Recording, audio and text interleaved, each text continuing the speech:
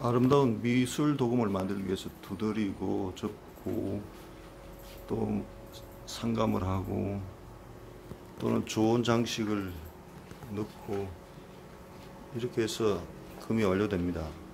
그런 금이 에, 금에 맞는 좋은 그 좌대에다가 올려놔야 가치가 있어 보입니다. 왜냐 미술품을 올리는 그 좌대가 허접하면 가치가 없어 보이죠. 그래서 요거는 지금 중국에서 오염으로 들어오는 것들인데 이때까지는 뭐 이런 좀 싼 것들을 썼습니다.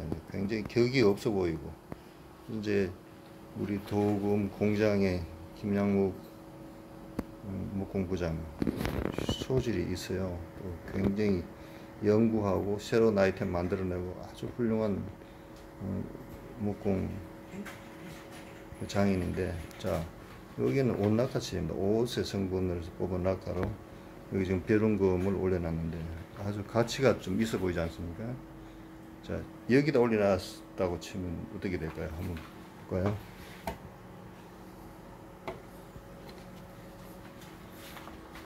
좀 그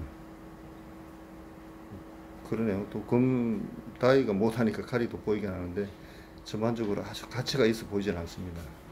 나 여기 지금 2단 좌대에 이렇게 금을 조선 벼룩금 왕실에서 임금이 쓰던 금을 올려놓고 보니까 아주 가치가 있어 보이죠.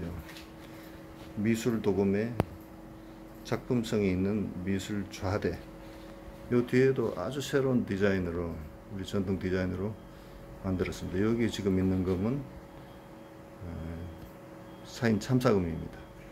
매화가 들어있고 아주 음, 화려하고 아름다운 모양이 들어가니까 금이 확 살아 보이죠.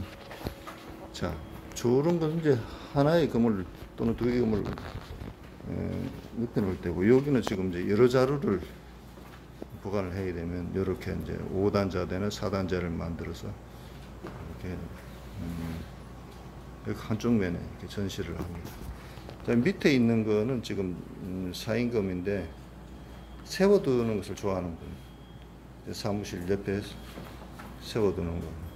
이렇게 지금 어, 녹색 어피 사인금하고 검은색 사인금을 이렇게 같이 거. 이것도 아주 특이하게 잘 만들었죠.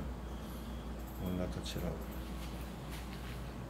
그 다음에 이거는 이제 이순신의 장금, 이순신의 금은 두 자루가 한 세트입니다. 아산현중사에 가면 그런 식으로 이제 장금을 만들어서 이렇게 세트로 세우는 자대가 아주 돋보입니다.